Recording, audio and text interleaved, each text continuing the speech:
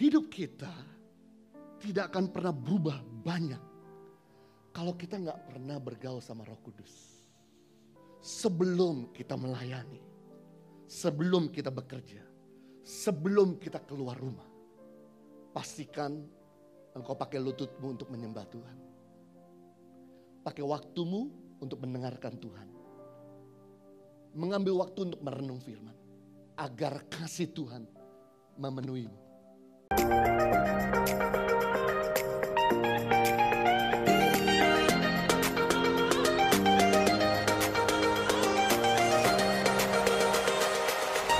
kita semua senang dengan sebuah judul, saya beri judul khotbah saya esensi pelayanan. Pentakosta adalah hari ke-50 setelah Yesus bangkit dan dia menampakkan diri kepada banyak murid-muridnya dan kemudian dia terangkat ke surga. Dan roh kudus dicurahkan. Sebetulnya roh kudus itu sudah ada sejak dunia dijadikan pertama kali oleh Tuhan. Dalam kejadian pasal 1 26 Tuhan berkata, berfirmanlah Tuhan. Baiklah kita menjadikan manusia menurut gambar dan rupa kita. Nah kata kita ini bukan bentuk tunggal. Tapi kata kita di sini adalah bentuk jamak. Berarti Allah Bapa, Allah Anak, dan Allah Roh Kudus turut bekerja bersama-sama menciptakan manusia, langit bumi dan segala isinya. Dan setelah itu Roh Kudus juga bekerja bagi beberapa orang percaya di dalam perjanjian lama. Namun hanya cuma tiga golongan orang Kristen, tiga golongan orang percaya yang kepada Tuhan yang diurapi sama Roh Kudus. Seperti golongan imam, nabi, dan raja. Hanya cuma beberapa golongan, tidak semua.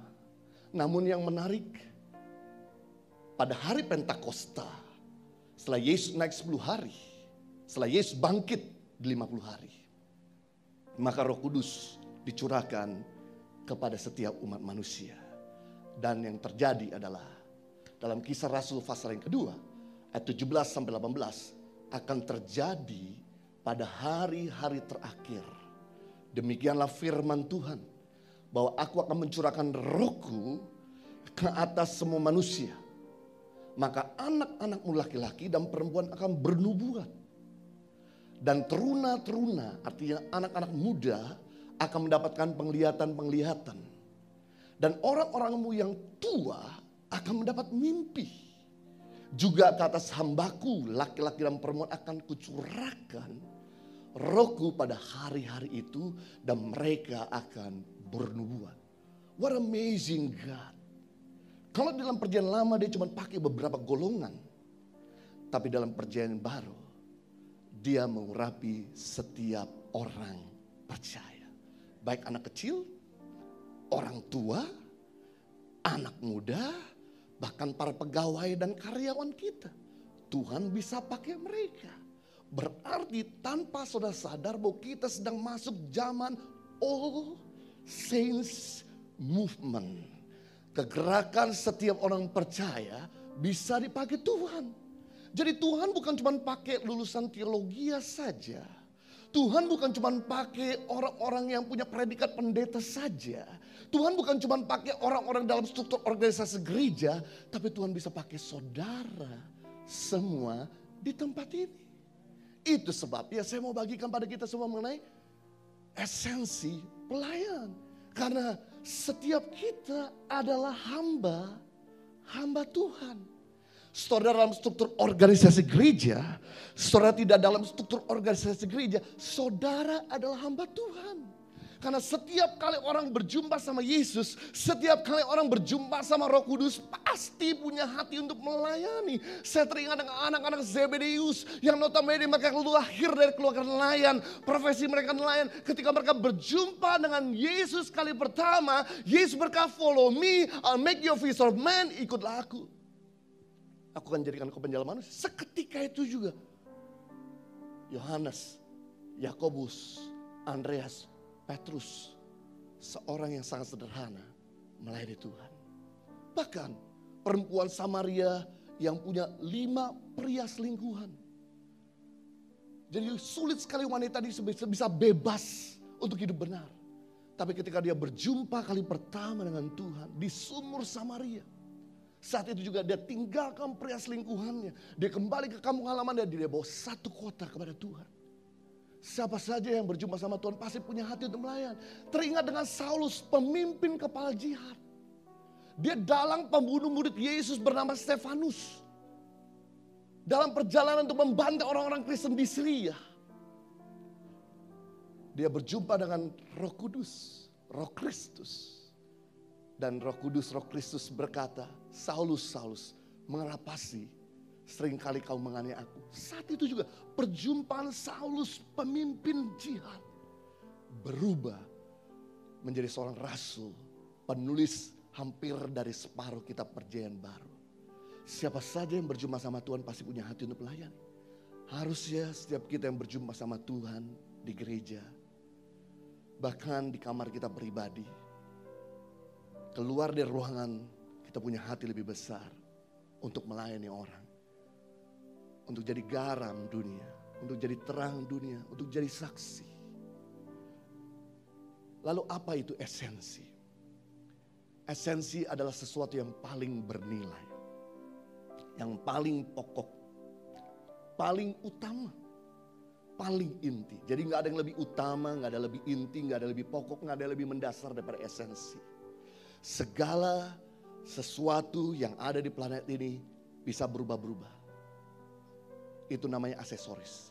Tapi segala sesuatu yang ada di planet ini tidak pernah bisa berubah adalah esensi.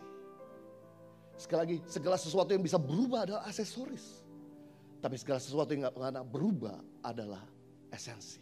Mana yang esensi yang tidak pernah berubah antara anting-anting atau telinga? Jelas, telinga saudara nggak pernah berubah. Sebesar itu terus. Tapi anting-anting bisa berubah kotak, lonjong, bulat, kecil, besar. Mana yang esensi antara mata atau kacamata? Jelas yang esensi adalah mata. Karena mata saudara coklat, coklat seumur hidup. Yang hitam, hitam seumur hidup. Yang biru, biru seumur hidup. Kacamata bisa berubah-berubah. Harusnya setiap kita sebagai pelayan Tuhan, hamba Tuhan, anak Tuhan berpegang pada esensi. Bukan berpegang pada aksesoris. Kalau kita punya esensi, aksesoris akan mengikuti. Kalau sudah punya telinga, anting-anting bisa dipasang. Kalau saudara nggak punya telinga, anting-anting nggak bisa dipasang. Aksesoris selalu mengikuti esensi. Tapi kalau esen kalau esensi nggak ada, aksesoris tidak bisa mengikuti. Nah, inilah yang saudara nggak perlu kejar. Ini aksesoris pelayanan yang Anda tidak perlu utamakan. Tidak perlu jadi prioritas. Ini aksesoris. Yaitu kekayaan. Bisakah kita melayani Tuhan tanpa jadi kaya dulu? Bisa. Rata-rata murid-murid Yesus sederhana. Berikutnya, ini yang bukan jadi prioritas kita dalam melayani Tuhan. Penampilan. Bisakah kita melayani Tuhan tanpa punya baju baru? Bisa. Selama kita pakai pakaian yang sopan, kita bisa melayani Tuhan. Berikutnya, aksesoris pelayanan yang nggak perlu Anda kejar, yaitu kedudukan. Bisakah kita melayani Tuhan tanpa punya predikat pendeta? Bisa. Murid-murid Yesus gak punya predikat sekolah teologian. Berikutnya, yaitu kehebatan. Bisakah kita melihat Tuhan tanpa punya karunia mujizat kesembuhan? Bisa. Saya pernah katakan kepada saudara.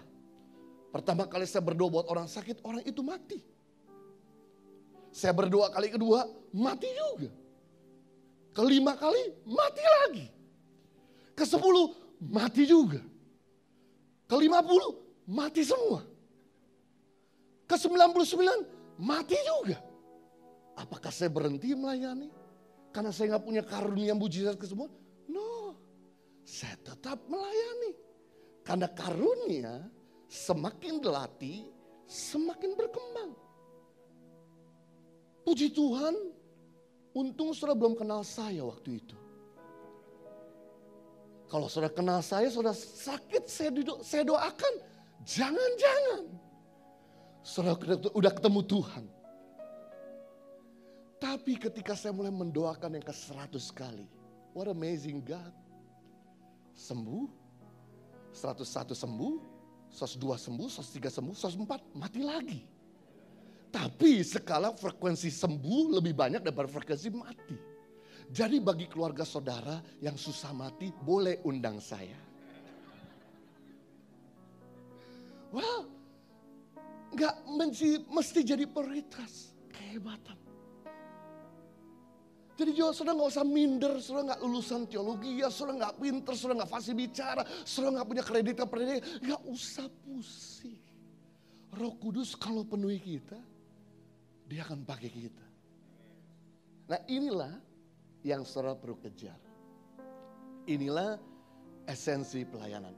Kalau sesatu ada 27 sampai 29. Kepada mereka Allah mau memberitahu betapa kaya dan mulianya rahasia itu di antara bangsa-bangsa lain yaitu pengharapan akan kemuliaan. Dialah yang kami beritakan apabila tiap-tiap orang kami ajari dalam segala hikmat untuk memimpin tiap-tiap orang kepada kesempurnaan dalam Kristus. Kata Paulus, itulah yang kuusahakan dan kupergumulkan dengan segala tenaga sesuai dengan kuasanya yang bekerja dengan kuat di dalam aku. Jadi kita bisa lihat di sini ada tiga esensi pelayanan Rasul Paulus yang dia utamakan. Yang dia kejar yang pertama, kalau saudara ingin jadi berkat, terang dunia, garam dunia. Yang pertama, Yesuslah yang harus kita beritakan. Memberitakan Tuhan itu ada dua.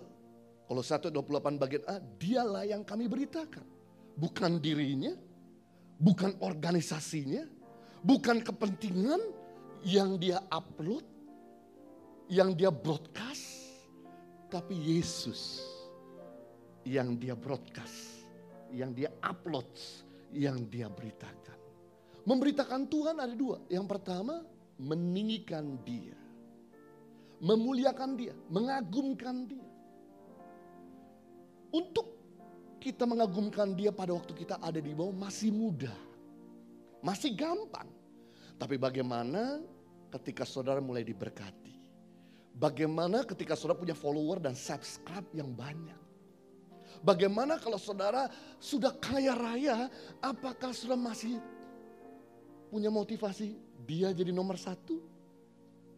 Atau kita yang jadi nomor satu? Coba saudara lihat gambar di depan ini. Di mana ada seorang salesman Coca-Cola. Dia dibayar perusahaan Coca-Cola. Dia difasilitasi oleh perusahaan Coca-Cola dia diberikan semua yang dibutuhkan untuk kerjaannya oleh perusahaan Coca-Cola. Tapi ke mana-mana dia jual teh botol. Kalau saudara punya pegawai model gini, apa yang saudara akan lakukan? Gak usah pikir panjang. Gak usah cari Alkitab lagi. Gak usah tanya Tuhan lagi. Langsung kita make decision. Dengan cepat pecat aja. Hal yang sama. Ada begitu banyak hamba-hamba Tuhan Sejak dia masih low di bawah, waktu dia masih belum punya subscribe yang tinggi, follower yang banyak, waktu dia masih belum punya uang yang berlimpah-limpah, waktu dia masih belum punya posisi, Tuhan terus yang ditinggikan. Tapi begitu dia besar, dia mulai lupa. Dia geser dirinya, organisasinya yang ditinggikan. No wonder No wonder tiba-tiba dia hilang daripada peredaran. Mungkin saja, mungkin saja seperti yang saudara maksudkan. Jadi kalau kita mau melayani Tuhan dalam jangka waktu yang long term, yang langgeng, yang panjang, saudara tetap jaga hati. Orang rendah hati awet. Orang sombong tidak ada yang awet. Kalau keluargamu mau awet, bisnismu mau awet, karirmu mau awet, kesehatanmu mau awet, pastikan di hatimu ini bukan dirimu, institusimu, tapi dia yang harus menjadi first priority yang kita tinggikan, broadcast dan agungkan. Memberitakan Tuhan yang kedua, yaitu menjadi saksi. Kenapa? Karena ada begitu banyak orang yang masih belum kenal Tuhan. Dan Tuhan mengendaki agar jangan ada seorang pun binasa. Tujuan Tuhan Yesus datang ke dunia bukan untuk bikin acara Natal. Tapi tujuan Tuhan Yesus datang ke dunia, no one should perish. Agar jangan ada seorang pun binasa. Jadi jantungnya Tuhan, isi hatinya Tuhan, kerinduan Tuhan. Satu, agar keluargamu jangan ada yang binasa. Karyawan pimpinanmu, tetanggamu, jangan ada binasa. Kenapa? Karena hampir setiap hari ada lebih daripada 35 ribu orang mati tanpa kenal Tuhan Yesus. Malah catatan institusi di Amerika berkata ada sekitar 125 ribu orang tiap hari mati tanpa kenal Yesus. Tapi menurut penginjil terbesar almarhum Reinhard Bonnke berkata 35 ribu orang tiap hari mati tanpa kenal Yesus. Berarti tadi malam kita memejamkan mata untuk tidur dan tadi pagi kita buka mata untuk siap-siap pergi ke gereja. Menyaksikan ibadah online. Tanpa kita sadari ada 35 ribu orang sebanyak stadium bola sedang ngantri menuju api neraka. Renat Burge berkata, sedikit sekali orang Kristen, orang yang sudah dibaptis, orang yang sudah melayani di gereja, orang yang sering datang ke gereja, ikuti ibadah online, yang mau mencegah mereka agar mereka jangan binasa. Seandainya saudara semua ada di sepatu mereka, sedang nanti menuju api neraka, tentu kita mengharapkan ada orang yang memberitahu kabar baik, mencegah kita. Ketahuilah bahwa tetanggamu, keluargamu, orang tuamu, mertuamu, menantumu, kakek nenekmu sedang menantikan kabar baik yang keluar dari hidup dan perkataanmu.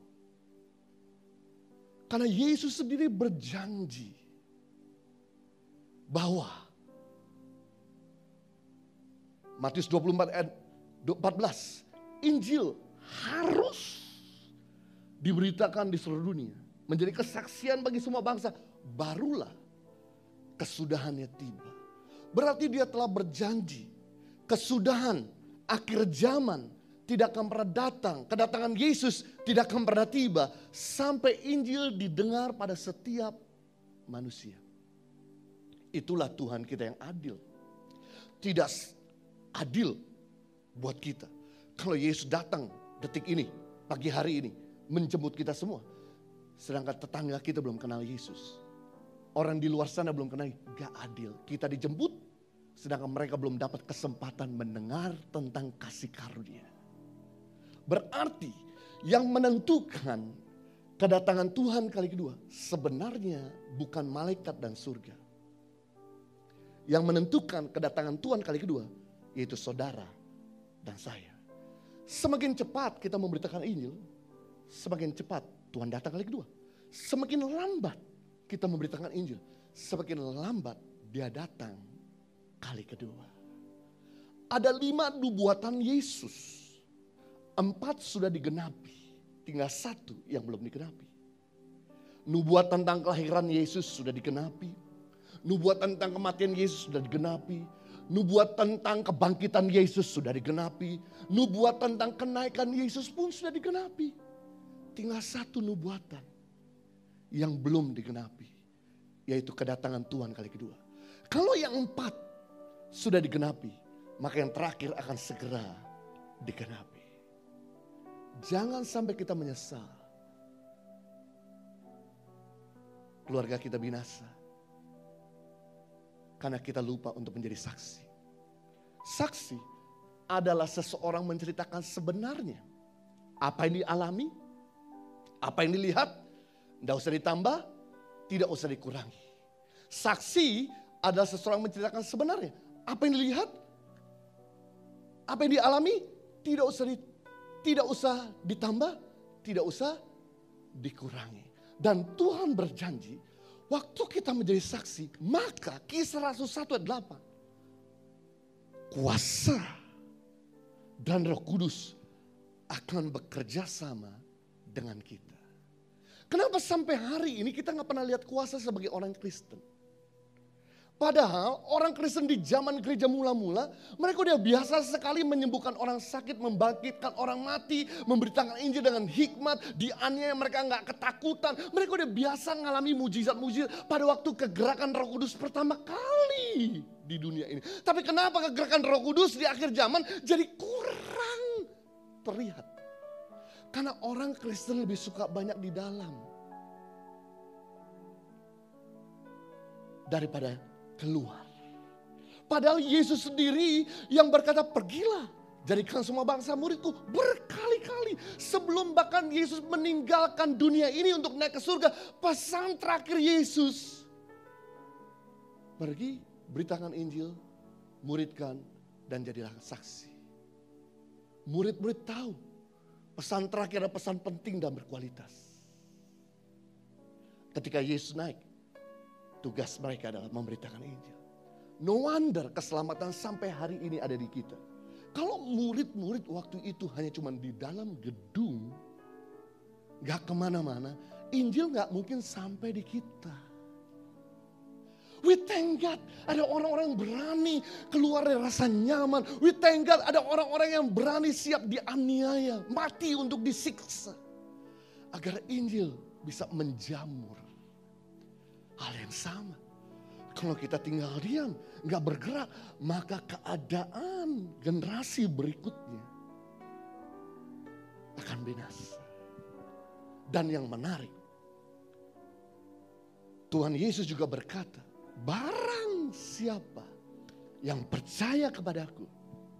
Dalam Yohanes pasal 14 ayat 12. Ia akan melakukan juga pekerjaan-pekerjaan yang besar. Bahkan pekerjaan-pekerjaan yang lebih besar daripada aku lakukan. Artinya apa? Bukan kita lebih hebat dari Yesus. Tapi karena time frame. Yesus tinggal di dunia ini cuma sebentar. 33 setengah tahun. Sedangkan dia melayani cuma tiga setengah tahun. Sedangkan kita tinggal hidup di planet ini panjang. Berarti kalau Yesus bisa menyembuhkan orang sakit ratusan, kita bisa menyembuhkan orang sakit ribuan. Kalau Tuhan Yesus bisa bangkitkan orang mati puluhan, kita bisa bangkitkan orang mati ratusan. Semua itu nggak bisa terjadi kalau kita cuma ada di dalam ruangan. Semua itu bisa terjadi waktu Anda keluar. Ketika rasul-rasul keluar dari ruangan. Tempat di mana mereka nyaman. Gak mau bersaksi. Gak terjadi banyak mujizat. Tapi waktu mereka keluar, Yohanes dan Petrus kemudian ketemu sama orang yang lumpuh. Belum pernah berjalan seumur hidupnya. Persis di depan gerbang bait Allah. Karena biasanya orang sering kali masuk ke bait Allah pasti ada belas kasihan untuk memberikan sedekah. Ketika Petrus dan Yohanes lihat orang ini. Petrus dan Yohanes belum pernah bikin mujizat sebelumnya. Karena mereka baru saja ditinggalkan Tuhan. Dan mereka baru dipenuhi roh kudus. Dan apa yang terjadi? Ketika dia lihat orang yang lumpuh ini. Dia berkata emas dan perak tidak ada padaku. Tapi apa yang aku punya? Kuasa Tuhan bangkit dan berjalanlah. Saat itu juga orang yang gak pernah berjalan seumur hidup. Berjalan kali pertama. Saya beritahu sama kita semua. Mungkin emas dan perak tidak banyak di antara kita. Tapi kuasa Tuhan berlimpah-limpah di dalam diri kita.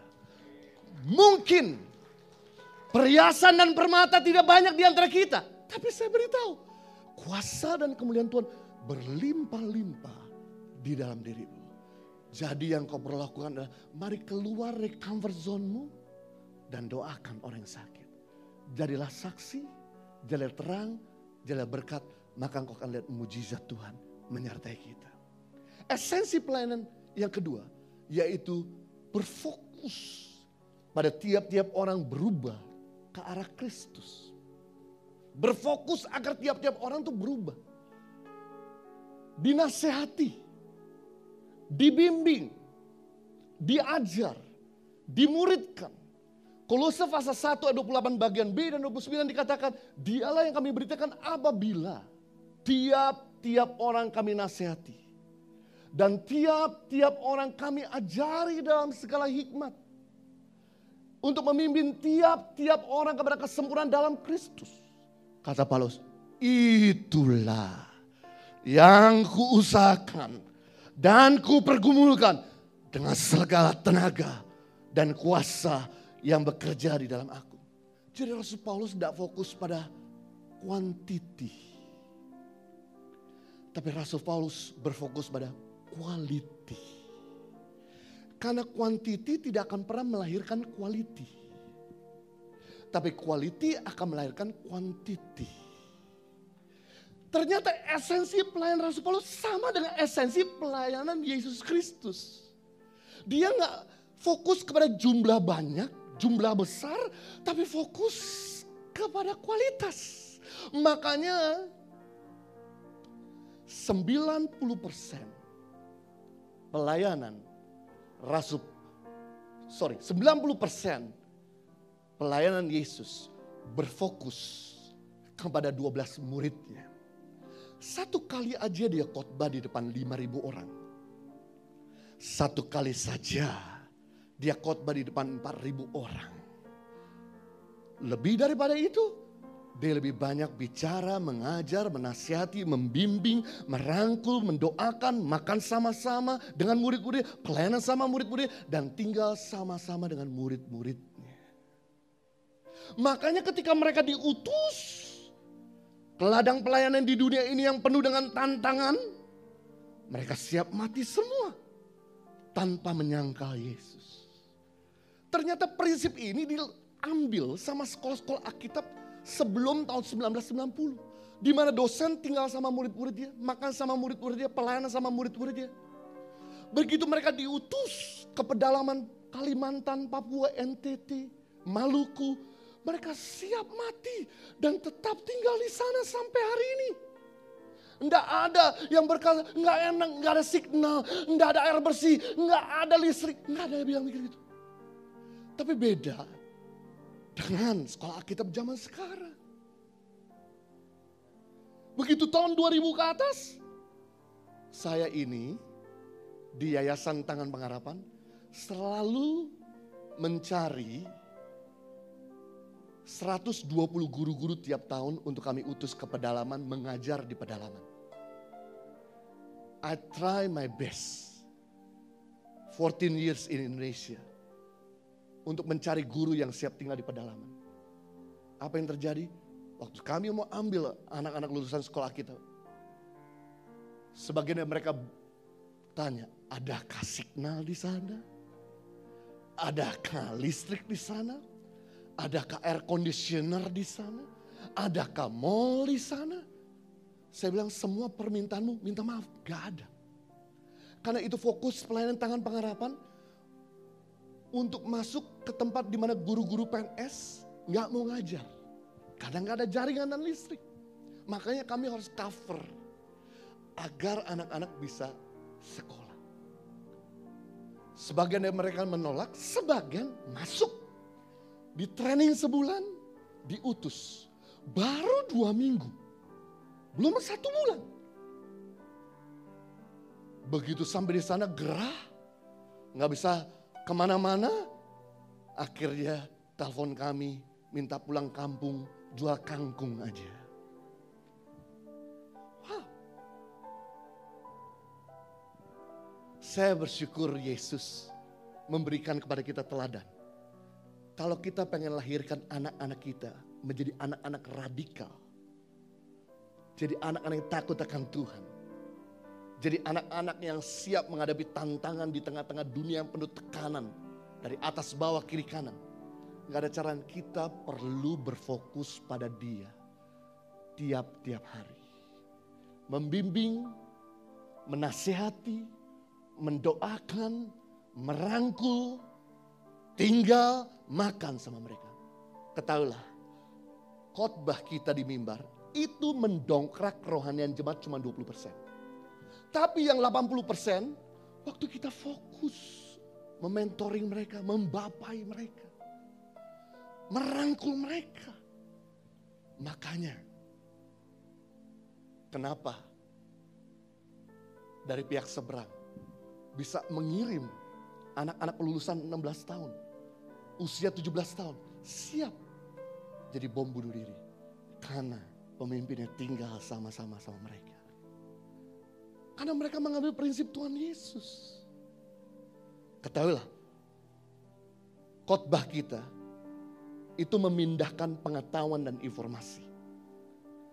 Penumpangan tangan memindahkan kuasa dan urapan. Tapi hubungan memindahkan segala-galanya. Apa yang tidak dipindahkan oleh hubungan?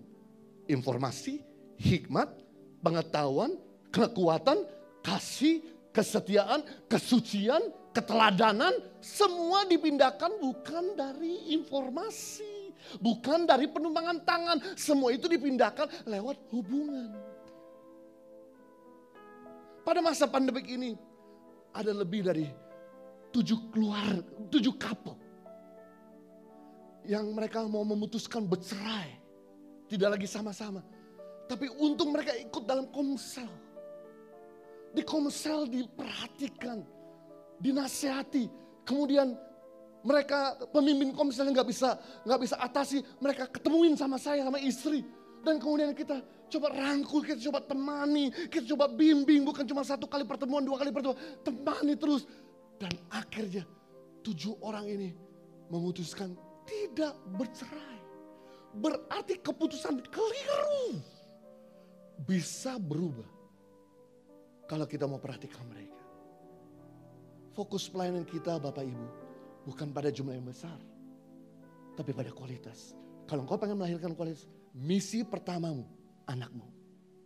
Bukan orang di luar sana. Misi pertamamu keluarga. Saya kasih tahu istri saya Henny Kristianus, saya bawa dia ke Tuhan. Saya yang bawa dia untuk penuh roh kudus. Saya yang bimbing dia melayani. Bahkan dia juga ikut sekolah Alkitab sama saya di Hillsong Bible College, Sydney, Australia. Dia melayani sama saya juga di Australia. Kita punya anak di Australia. Dan waktu dia punya anak dia memutuskan, saya nggak mau pelayanan lagi. Karena saya mau, misi pertama saya melayani anak-anak. Dan waktu kembali ke Indonesia tahun 2006, anak saya masih usia 6 bulan. Dia betul-betul lepasin pelayan, walaupun dia worship leader. Walaupun dia pembicara. Selama dua tahun dia tidak melayani. Guess apa yang terjadi? Kemudian saya berkata, sayang kamu harus mulai melayani lagi. Karena jadi berkat bukan cuma di Yerusalem, Samaria, Yudea, sampai ke ujung bumi. Jangan cuma kau jadi berkat buat anak kita, sedangkan orang lain kau gak jadi berkat. Dia mulai putuskan untuk melayani yang lain. Dan hari ini, bang, gak bisa dibendung media sosialnya. Mau orang jelek-jelekin, kalau Tuhan sudah ngangkat, Gak ada seorang pun bisa merendahkan. Kalau Tuhan sudah buka pintu, gak ada seorang pun dapat menutupnya. Sekalipun hari ini, Henny Kristianus dijelek-jelekin. Terus dipanas-panasin. Tetap hampir tiap hari. Orang terus mendengar, menantikan pesan-pesan yang disampaikan oleh beliau. Si Tuhan bisa pakai seorang ibu rumah tangga seorang yang ngurus anak. Dan saya beritahu jujur, sampai hari ini istri saya masih ngurus anak, masih jadi koki buat kami. Sure, sampai hari ini masih ngurus bersih-bersih rumah. Karena pembantu kami cuma satu. Dia nggak bisa sendiri. Istri saya bangun pagi-pagi. Dia ngurusin breakfast buat anak-anak. Masih sampai hari. Kalau istri saya Henry Kristianus bisa dipakai Tuhan, maka Tuhan yang sama bisa pakai setiap kita. Yang percaya beri tepuk tangan yang meriah buat Raja kita. Terakhir, kemudian saya selesai. Esensi pelayanan yang ketiga yang Rasul Paulus lakukan, yaitu mengalami Kristus. Kalau 1.27, Kepada mereka Allah memberitahukan betapa kaya dan mulia rasa itu di antara bangsa-bangsa lain. Yaitu Kristus di tengah-tengah kamu. Kristus yang adalah pengharapan akan kemuliaan. Sayang dalam bahasa Indonesia kurang tepat. Kalau kita lihat dalam bahasa Inggris dikatakan lebih tepat. Christ in you is the hope of glory. Kristus di dalam kamu adalah pengharapan akan kemuliaan. Beda sekali antara Kristus di tengah sama Kristus di dalam. Saya kasih contoh, beda sekali antara air ini di tengah saya sama air ini di dalam saya. Air ini ada di atas saya. Tidak membawa perubahan banyak hal. Air ini ada di depan saya juga kurang membawa perubahan. Air ini ada tengah-tengah saya juga nggak membawa perubahan. Coba saya pindahkan air ini ke dalam saya. What amazing. Langsung ada transformasi energi. Kesegaran. Kekuatan. Saya bicara lagi dua jam saya ladenin. Apalagi kalau kaki empat badan pendek. Pindah di dalam saya. Saya bicara lima jam lagi saya ladenin. Beda kaki pendek badan kecil, badan besar ada di luar.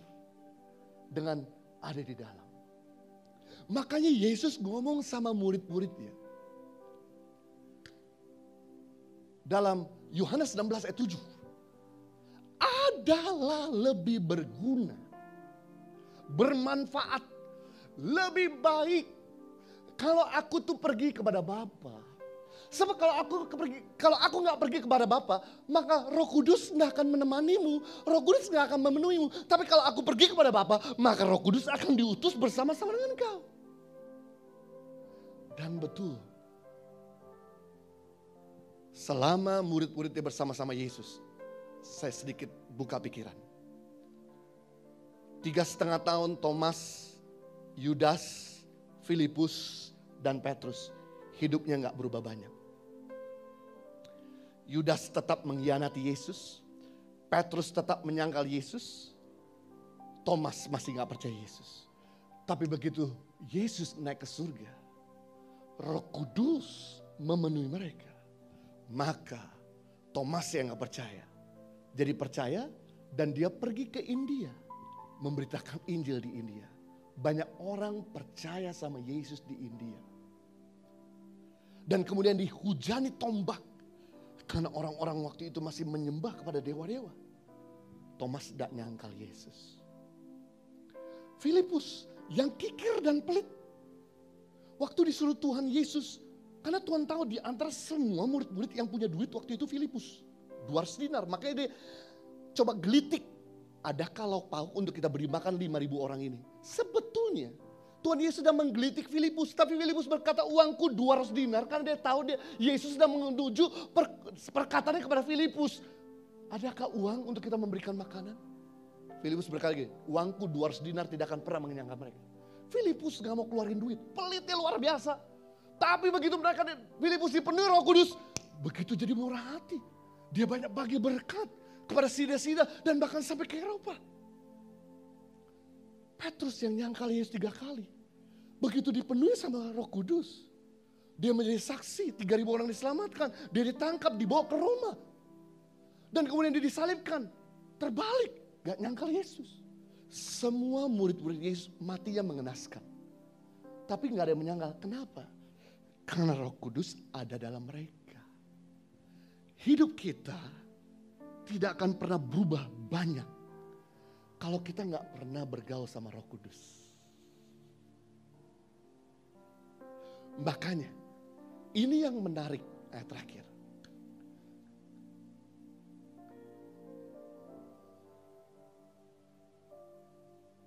Waktu di dalam Lukas 10 ayat 25 sampai 37, Yesus suruh kita berbuat baik.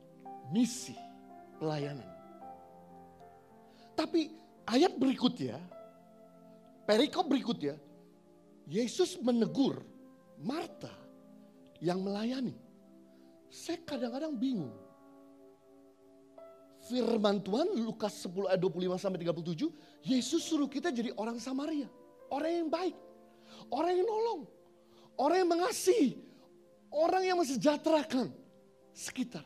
Tapi kenapa di perikop berikutnya, di ayat berikutnya, Lukas 10 ayat 38 sampai 42, Yesus menegur Marta yang sibuk pelayanan, sibuk berbuat baik. Saya jadi bingung, apakah Tuhan Yesus pelin-pelan? Ayat sebelumnya suruh kita melayani, eh sesudahnya dia menegur orang yang melayani. Memuji orang yang duduk diam di bawah kaki Yesus. Saya coba merenung ayat ini. Bertahun-tahun. Apa maksudmu ya? Ternyata roh kudus kasih tahu. Sebelum kita melayani. Sebelum kita bekerja. Sebelum kita keluar rumah. Pastikan engkau pakai lututmu untuk menyembah Tuhan. Pakai waktumu untuk mendengarkan Tuhan. Mengambil waktu untuk merenung firman. Agar kasih Tuhan memenuhimu.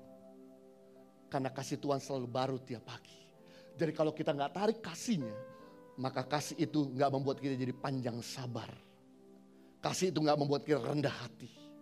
Kasih itu nggak akan pernah membuat kita menjadi self defense yang kuat, penguasaan diri yang kuat. Kenapa sampai hari ini begitu banyak orang Kristen kecewa, kepahitan, dah lagi mau ikut Tuhan?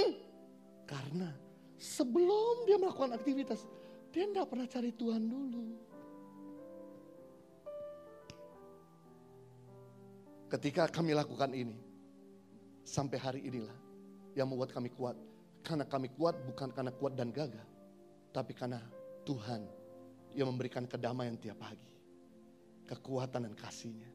Saya percaya setiap kita tidak akan mudah kecewa, tidak memiliki sumbu pendek, asalkan kita mengalami Kristus, Roh Kudus.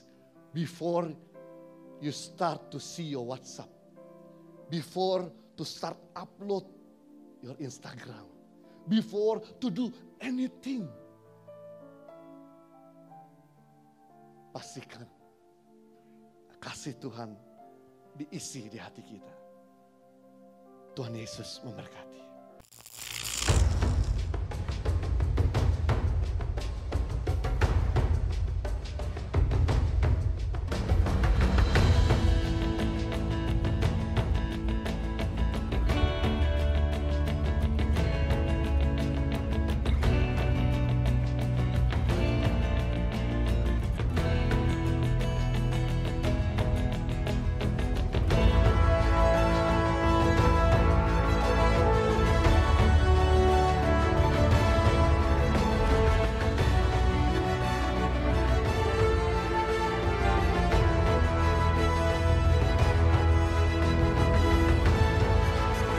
Cerita anak pedalaman dalam meraih mimpi dan mengejar cita-cita bersama tangan pengharapan.